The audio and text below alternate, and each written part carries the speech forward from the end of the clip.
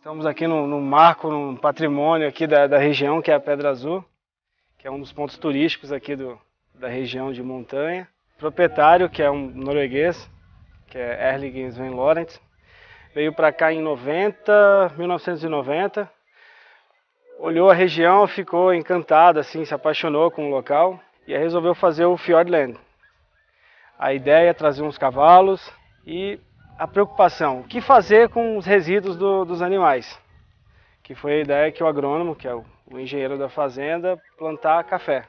Lá embaixo a cafeteria, lá é o Fjordland, que é o centro de, de turismo de Pedra Azul.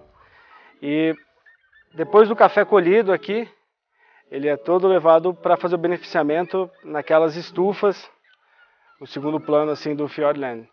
Lá é feito o descascamento, que a gente trabalha com a colheita seletiva, que é só grãos maduros, escolhe um a um, só os bordô, onde estão os cavalinhos ali, onde é o telhado de grama, é onde fica a cafeteria.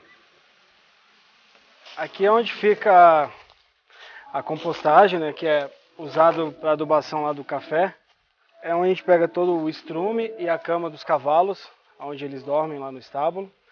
E é tirado praticamente toda semana e é colocado aqui na mata. Só utilizamos de recursos para adubar, para fazer a adubação do café Heimen, só coisas que a fazenda nos oferece, que é o estrume, que é a cama, que é a serragem, lá, que é da madeira daqui da fazenda, e depois vem para cá para para virar realmente adubo orgânico para ser para voltar. Na verdade é um ciclo que fica o tempo todo girando do café, vai para a cafeteria, depois volta, vai para os cavalos, os cavalos, fica o tempo todo girando.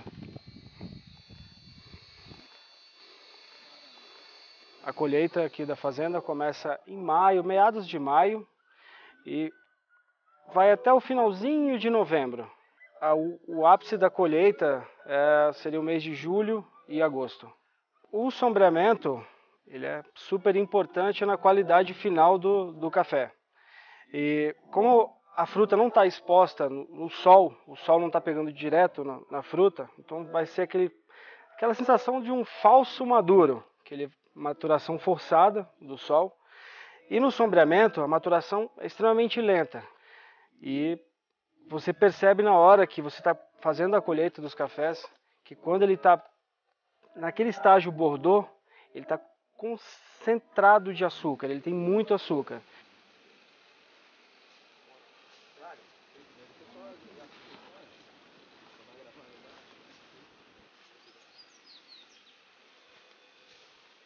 Aqui é onde fica armazenado o café Heimen, depois de, de colhido, madurinho, de secado, atingir uma umidade que fica entre 11% e 12%, é armazenado nessas barricas. O armazenamento ele tem que ser muito bem feito para não ter contato com, com luz e nem com muito oxigênio. Então, o ideal é ele ficar aqui pelo menos uns três meses, para ele descansar, a bebida descansar completamente e depois ser beneficiado, que é um outro processo. Vai ser feito o descascamento do, do pergaminho e separado em uma sala para ser torrado. O primeiro passo é você fazer uma desidratação do grão, que ele está com uma umidade entre 11% e 12%. E esses primeiros 3 minutos é onde ele vai perder essa água e depois vai começar a fazer a torra.